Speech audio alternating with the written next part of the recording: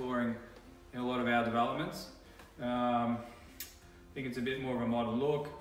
Uh, it's hard wearing. You can replace it if you damage it. You know, your standard tiles, if you chip it, it's very hard to fix it. And I guess you can't.